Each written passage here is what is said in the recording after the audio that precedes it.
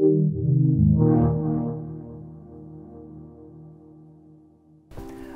Tej Tadi. I'm the founder and CEO of MindMaze, and we're here at the GDC 2015 launching MindLeap, our consumer health VR uh, platform. And what we do is we're bringing two new products uh, and two new prototypes and technology platforms into the market for game developers and enthusiasts. And what you're seeing in front of me is one of them, which we call the Neuro Goggles, which is where you see Nicholas essentially looking at his hands in front of the goggles, which has an embedded motion capture system, a combination of stereo and depth sensors, and he's putting his hands on fire. So he's actually going to modulate this fire using his brain. So that's the third piece of it. Is not only do you see your hands and limbs in virtual and augmented worlds, you can do different fun stuff with them and then modulate this with your brain to get a real experience of how you feel. So you're bringing your emotion and feeling into the virtual experience.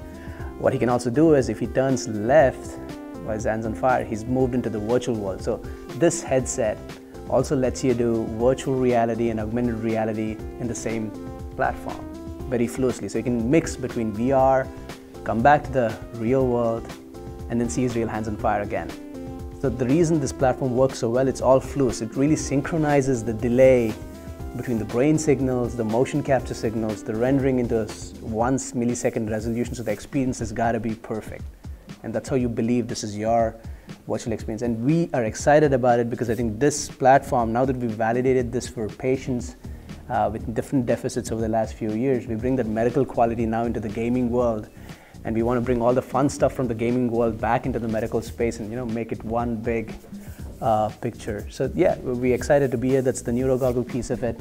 And in the next six months, what we're going to do is launch the SDK um, and eventually get this product out to developers so they can build a lot of amazing stuff with it, and we're excited about it.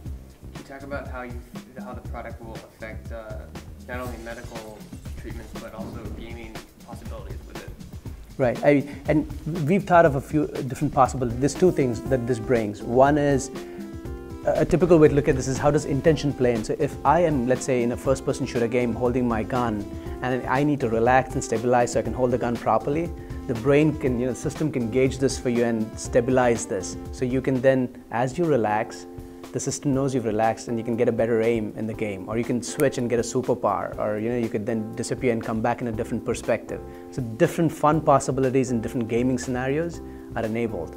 Which always again come back from the medical perspective where, for example, amputee patients who have pain can just visualize their hands and the pain goes away. So this, this, the possibilities are just uh, across the board. Can you go into a little detail about how the technology works? Right. So a, a, simple example you see here for Nicholas to essentially see fire on his hands and modulate it with his brain, there's three things playing out. One is the motion capture cameras embedded in the front, so they're capturing his fingers at a high frame rate and accuracy. Two, the rendering's got to work, you know, stereo-wise to map out to how eyes would really perceive it. Three is the EEG, electrical activity being measured off your brain that's then tying into how this fire is modulated. So it's all syncing up in one engine that's, that's, that's in the goggles that's going to synchronize all these multimodal signals in real time.